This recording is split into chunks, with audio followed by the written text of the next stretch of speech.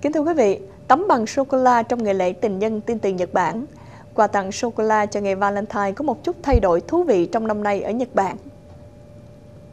Một khu du lịch suối nước nóng ở Hakone, cách Tokyo khoảng 90 km về phía nam, đang mở ra cho các khách hàng một cơ hội tắm trong sô-cô-la.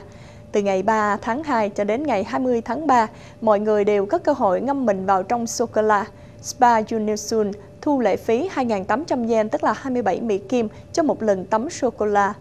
Tại Nhật Bản, phụ nữ thường tặng quà cho nam giới trong ngày Valentine. Nhân viên spa cho hay là các cô gái thích đến đây để ngâm mình trong sô-cô-la vì họ tin rằng nó sẽ giúp cho da đẹp hơn và hương thơm thì không thể cưỡng lại được. Mùi hương sô-cô-la còn phản phất ngay cả sau khi khách hàng rời khỏi spa. Sô-cô-la thường được cho là có khả năng kích thích tình dục và người quản lý spa hy vọng là sự kiện năm nay sẽ giúp cho thanh niên Nhật Bản tăng thêm hương vị cho mối quan hệ của họ.